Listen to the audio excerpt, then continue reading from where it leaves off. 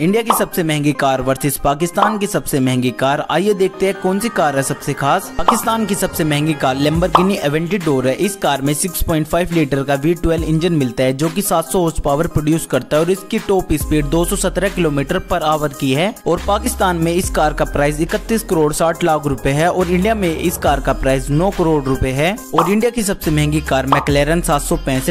spider है इस car में फोर लीटर का वी इंजन मिलता है जो की सात सौ हॉर्स पावर प्रोड्यूस करता है और इसकी top speed 205 kilometre per hour की है इंडिया में इस कार का प्राइस बारह करोड़ रूपए है और पाकिस्तान में इस कार का प्राइस इकतालीस करोड़ रूपए है